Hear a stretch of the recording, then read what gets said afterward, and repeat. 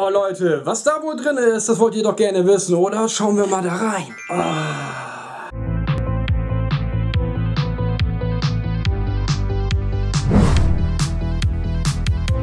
Moin Moin Leute, was geht? Ja und herzlich willkommen zu einer, ja keine Figuren-Review, aber halt eine Sache, was ist da wohl drin? Ich kann nur eins sagen, es ist keine, äh, keine Figur, es ist halt ein Marvel-Karton, wie man hier sehen kann. Und ich habe gedacht, ich sage euch nicht, was da drin ist, das werdet ihr jetzt erfahren. Und auf jeden Fall werdet ihr, werdet ihr zum ersten Mal, bevor ich das auch geöffnet habe, in diesen Genuss kommen dieser Box. Und dann würde ich sagen, wir holen die jetzt erstmal raus und dann sage ich mal ganz kurz, was da überhaupt drin ist. Ja, und da haben wir das gute Stück gerade aus dem Styropor geholt. Das ist halt einfach eine detailgetreue Comic Artwork Figur als Statue von Captain America. Sie wurde halt hergestellt von Enesco. Enesco ist halt so gesehen, ja, nicht so bekannt wie andere wie Marvel Legends und Select, weil sie macht ja, machen ja auch keine Actionfiguren. Sie machen halt diese Statuen, ich muss sagen, ich, die gefallen mir sehr gut. Ich habe jetzt für diese 47 Euro bezahlt, sollte eigentlich vor 94 kosten, was ich eigentlich, eigentlich zu viel finde, wenn ihr mal nach Amazon geht. Ich habe mal den Link hier reingepackt. Da kostet nämlich 33 Euro. Da gibt es natürlich auch andere Figuren.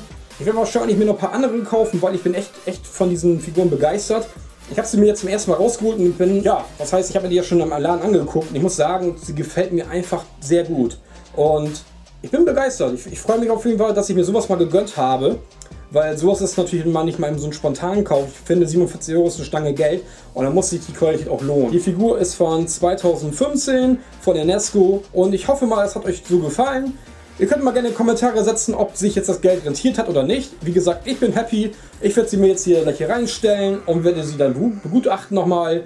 Und ich finde auch, da sind keine Fehler bei. Also da achte ich ja immer schon drauf, da bin ich ganz penibel, weil bei Funko Pop ist das nämlich das, das Ding gerade so, dass mir die Bemalung bei dieser ganzen Massenproduktion nicht so gefällt.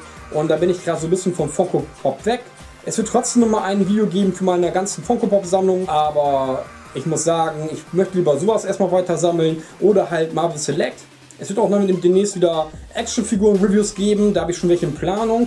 Und wie gesagt, egal, ich will nicht so viel schnacken und Ab in die Kommentare, ob euch die Figur gefällt, ob ihr euch auch sowas kaufen würdet. Wie gesagt, der Link ist in der Videobeschreibung drin. Und natürlich nicht vergessen, ihr müsst den Nerd abonnieren. Los, los. Ja, habt ihr den gehört? Abonnieren nicht vergessen. Und vergesst nicht auf den Phantomas zu gehen. Der macht auch coole Sachen. Der ist in der Endcard hier und in der Videobeschreibung drin. Leute, dann würde ich sagen, bis dann und show. Und Captain sagt, BAM!